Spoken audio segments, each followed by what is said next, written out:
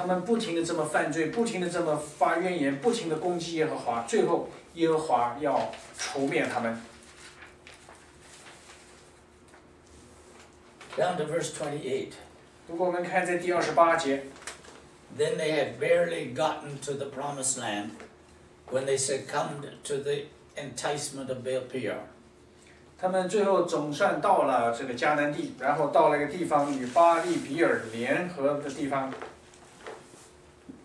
They ate sacrifices offered to the dead. 但是呢，他们这个再再次的犯罪是做什么呢？吃了祭死神的这个物， And they turned to doing the things that the godless nations were doing. 然后他们做的事情是神严令禁止他们做的事情。 They did not destroy all the peoples in Canaan. 他们没有灭绝迦南那些原原来这些迦南人行罪恶、恶贯满盈的这些迦南人。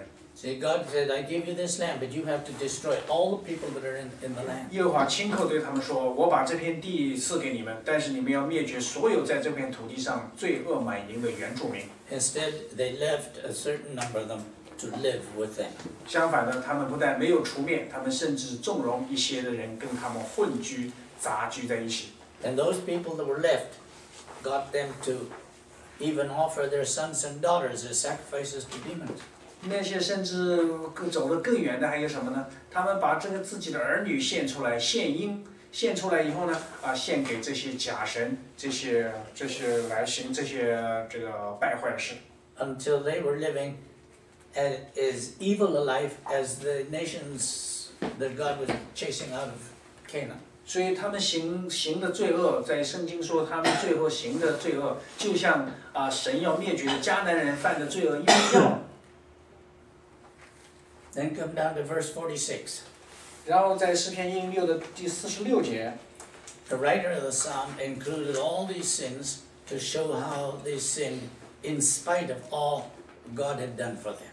这个诗篇的作者也写说，尽管犹太人是如此的败坏罪恶，这个不停的背逆犯罪，但是耶和华慈爱的耶和华对这些犹太人都行了什么样的慈爱？But now the, the writer adds this at the end of his sermon, uh, of his psalm. 呃，现在在诗篇快到了结尾的时候，诗篇的作者是这样写，when they recognized their sin, 他说：“当你们承认看见你们的罪孽的时候，when they recognized or when they acknowledged the punishment God had brought in, on them was just. 呃，当他们承认说，嗯在他们所行的罪孽的应得的报应是是这个耶和华公义的审判的时候， They repented and called out to God for forgiveness. 然后呢，他们就什么？他们就悔改，一求求耶和华赦免他们的罪恶。 And God forgave them. 那耶和华的确赦免他们。 You see, a penitent, a penitent psalm has to uh, acknowledge the sin that was done. 你看这个悔改的诗篇里面，你有一个重要的元素，就是这这些人犯罪的人要承认自己确确实实犯罪，抵挡耶和华才行。 You see, when you and I repent, we have to repent from something that we have done. 呃，当我们说我们悔改的时候，我们是要从我们所行的罪恶当中回转，And we have to tell it. 而且我们是要亲口的承认来认这个罪。That's why in the New Testament, it uh, in uh, 1 John First John one nine, it says, If you confess your sins, he is faithful and just to forgive you your sins. 呃，所以在新约圣经在约翰一书第一章第九节是说，神是信实的，若你你承认自己的罪，神就要赦免你的罪。 Now, the most famous penitent psalm is David's Psalm 51. So you can Oh, open your right. Bible to that. 在所有的诗篇里面，最着名的悔悔罪诗是在诗篇五十一，是大卫所写。 David had committed adultery with Bathsheba. 我们知道大卫跟这个八十八有这个淫乱的行为，and then arranged that her husband would be killed. 然后大卫亲自密谋谋杀了八十八的丈夫。And uh, David was sort of being living sort of peacefully. He thought everything had been co- covered up. 这个大卫通奸淫乱以后，然后又偷偷摸摸设局杀死了八十八的这个这个丈夫，然后把她娶进宫以后，她觉得这个事儿都一切都天下太太平，是好像这个事儿都就像没事儿人一样，她就踏踏实实的在宫里面过日子了。I'm telling the story right now. This comes out uh, of the psalm. 啊、我现在是只是在跟大家介绍诗篇五十一的这个背景。You see, uh, God sent His prophet Nathan to, to David. 后来大这个呃耶和华就差遣他的先知拿单去见大卫王，And the prophet told a parable. 然后这个先知拿单就给大卫讲了一个故事，讲了一个比喻。 And he said there was a, a man, a man was very rich, 他说有一个富有的人非常有钱， and he had lots of sheep, 然后他家里有很多很多头羊。 and his neighbor was very poor, just one lamb. 这个就这个大富豪的家的旁边住着一个人，是非常的穷，他全家唯一的财产就是一只小羊。Now one night, a, uh, a uh, somebody came to his house to stay with him. A friend came to. 有一天晚上，这个富豪家里来了一个朋友，到他家里来做客过夜。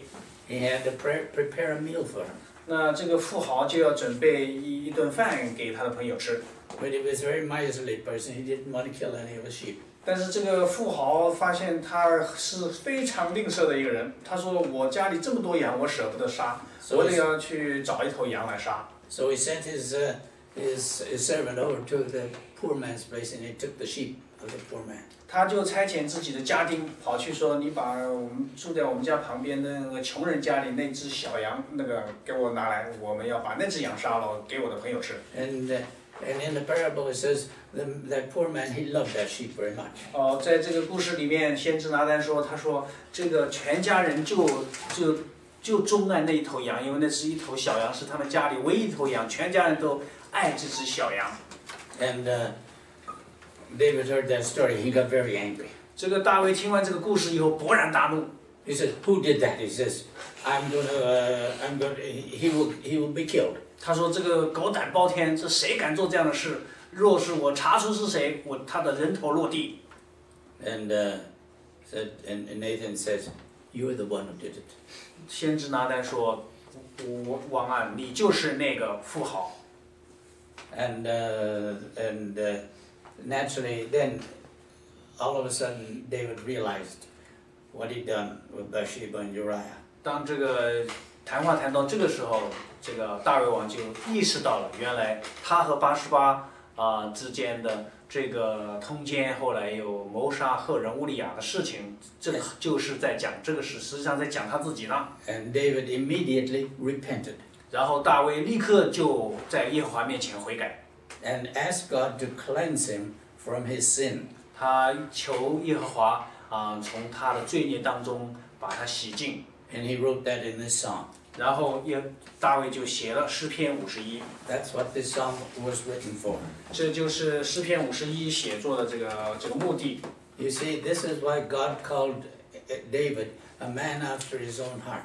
这也就是为什么圣经讲到说耶和华，呃，这个大卫是耶和华所心爱的人。When God showed him his sin, he re- remen- repented immediately. 这个他之所以讨耶和华的喜悦，是因为当耶和华啊、这个把大卫的罪列这个显明给大卫看的时候，大卫立刻就悔改。 You see, in verse 2, it says, David, David asked him, he says, Cleanse me uh, from my sin.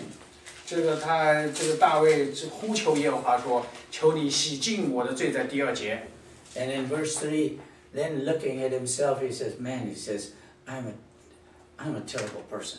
在第三节说，嗯，他知道自己的罪以后，他说：“我是一个何等的样的罪人哦。 He saw himself as one in whom iniquity is present all the time. ”他在第三节说：“我的罪常在我面前。”意思就是我是常常犯罪的这么一个人。 You see, in verse 5, he says, he saw that he was born in iniquity. 在第五节甚至说：“我是在罪孽里生的。 See, that's, that's, that's repentance, that is. ”这是真正的悔改，就是你悔改到骨头里面、心肠的最深处里面去了。 And in verse 4, he, he acknowledged that his sin wasn't just against Uriah and Bathsheba. 呃，在第四节，他意识到他的罪不仅仅是这个这个这个这个罪罪抵挡了这个就是侵犯了八十八和呃谋杀了她的丈夫， But, but it was against God